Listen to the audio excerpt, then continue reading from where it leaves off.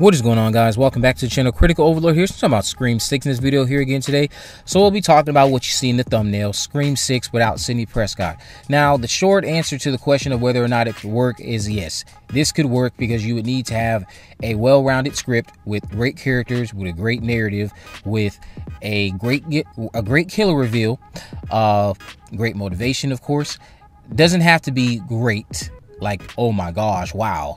Just something that's effective to still get your audience invested in the narrative without Sidney being present. This is something that I think they've done a great job at making making possible for themselves by giving us a great set of characters in Scream 5. While Tara's friends might not have been the might not have been as developed as I thought they would have been.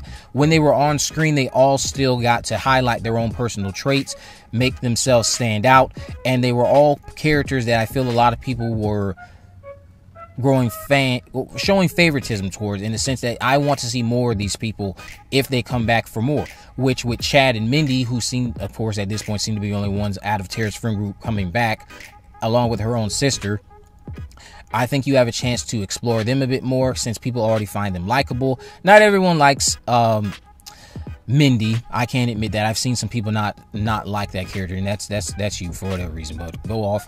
The other thing you could do is again introduce new characters like they always do, and just spend time with Tara and her life in college, her friends, their trauma from Scream 5, and now this this new Ghostface that's going to be out there. And you can introduce Gale Weathers in a way by having them go to school in New York. This would be an easy easy way to just have them go to Gale for help. Sam isn't going to get involved. Gale gets involved, of course, not only because she wants to help them, but because of her own career benefits, since she'll get a chance to cover this story for her show. And this would just be a way for her to have some conversations on her show, of course, talking about the things she's probably talked about already about the fact that she's helped survive or, or helped solve rather five Ghostface killing sprees. Now there's a sixth one. You know, it's just something that Gale could, of course, benefit from as well. But mostly, this could be someone who just wants to genuinely help these people. Uh, we could learn more about Gale, see a little bit more of how her life has been.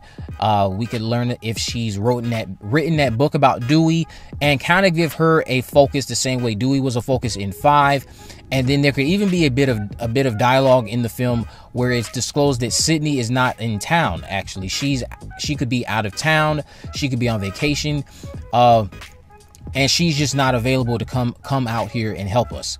They don't even bother to they don't even bother to uh, reach out to her at that point. Gale could be the one to shoot that idea down. No, don't bother Sidney. She's she's out of town with her husband. They went on vacation with the kids. We we don't need to bother Sidney. And what I think you could also do is explore this through a killer in a post mask reveal, where they're explaining to the fact that they intentionally themselves waited for Sidney to not be able to come help because they could be someone who idolizes Sidney they think she's the ultimate final girl because they themselves are a Stab fan. They're a fan of the real life individual from that character they love from the Stab films. And they just don't think that Sidney deserves to be harmed in any way, shape, or form. They think her they think her narrative is done and they want to protect her as a final girl. They don't want to kill off the best final girl that ever exists to them.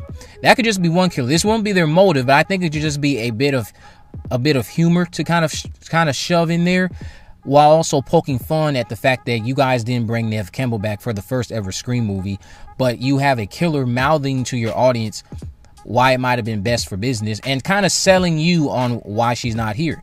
This killer thinks she's the ultimate final girl. They think her story is done. They think she deserves some peace in her life, and they would never want to take Sidney out. But they got some problems with Sam. They don't have problems with Sidney, but they got problems with Sam and Tara. And whoever else is their accomplices would probably not be as big of a Sidney fan as they are. So they purposely could have gone out of the way to stalk Sidney before before they launched this new Ghostface killing spree.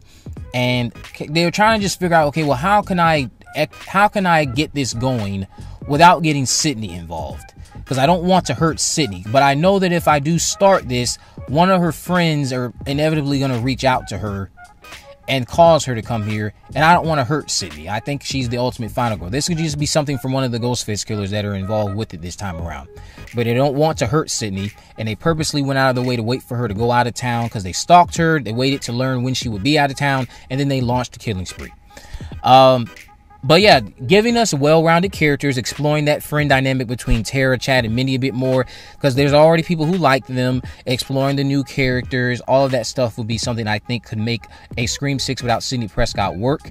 Uh, I'm not saying Sidney wouldn't necessarily not appear in it, because like I like you see in the thumbnail, what if she appears in the very, very, very last scene to set up a Scream Seven? And I'll get to that in a second.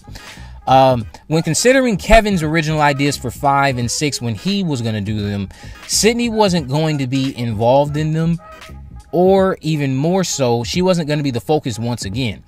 Which we ended up getting in Scream 5, a movie where Sidney wasn't the focus. And I think Kevin's original idea for 6 was sounding like it was going to be about Gale Weathers. So if they do a more Gale centric narrative here, they would kind of be following the template of what Kevin originally was going to do anyway, while while it's not his idea all the way since he didn't get to flesh those out. Uh, Sidney's Sidney's lack of involvement and lack of being the focus was showing signs of that from her positioning in four, where they were trying to shift the narrative from her already beginning there. Uh, there was already things that Kevin wanted to do as it pertains to taking the narrative away from her. We know uh, ultimately he did not finish finish they did not finish filming the movie with his version. They had i think Ehren Kruger come in and finish it up and then they shot whatever they shot. And we got still a, a, a solid movie overall. But with scream 6 sidney could still appear at the end. You could have the ghostface killing spree get wrapped solved bada bing bada boom. Sidney never showed up for that. But sidney comes back in town and we could have a scene that flashes over to her coming back in town, entering her house with with uh, Patrick Dempsey's character of Mark. That'll be his cameo plus Sidney's cameo. They go inside. The kids are going inside, and we see from behind them as the door is closing. Uh, there's a killer outside, or at least not even a killer. Someone is standing there watching watching them, but we don't see who it is the movie just ends. All we don't see if it's a man or a woman even. We just see someone standing there and then the movie shuts off. I don't know how many people will feel about that, but it's setting up the seventh movie. Let me know what you think about that down in the comment section below. If you haven't already, of course, make sure you subscribe. Turn on post notification and miss a video. In the description, I have links to my social media accounts on Facebook, Twitter, and Instagram. You can message me there, of course, if there's any movies, news, or reviews you'd like me to cover in the future. And with all that in mind, guys, I will see you in the next video.